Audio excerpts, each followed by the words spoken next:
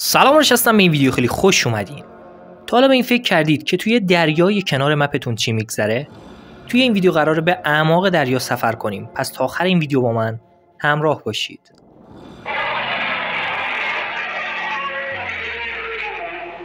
تئوری اول.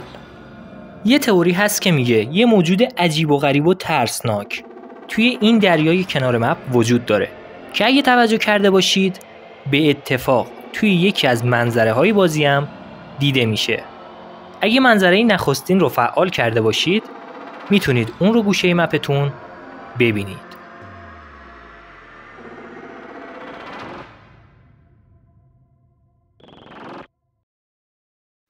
توی قسمت دیگه از مپ هم نشونه هایی گاهی به صورت مرموزی نمایان میشه.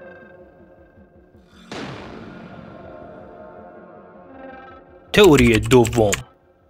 یادتونه وقتی پای تخت قبیله به بازی اضافه شد همه نیروها سوار کشتی شدن و به سرزمین جادویی سفر کردند که توی هوا معلق بود.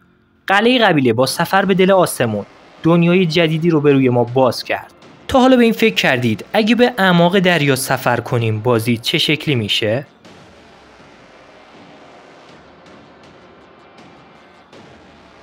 خب قطعا مثل بیلدر بیس و پای تخت قبیله.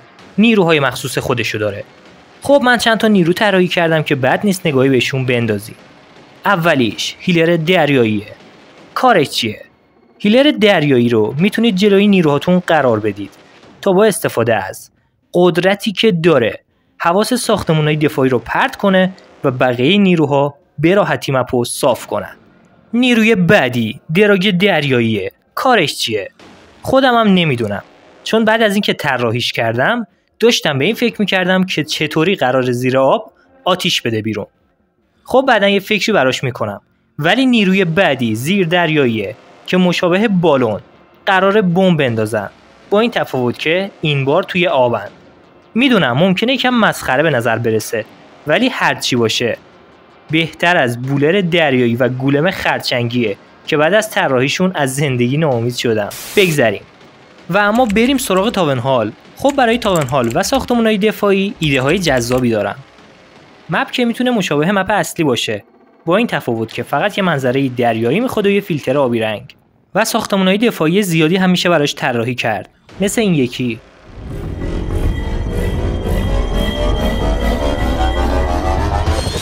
در کل ایده های باحالیه. خب رسیدیم به پایان ویدیوی امروز. خواستم بگم برای آماده کردن هر یک از این ویدیوها کلی فسفر میسوزونم.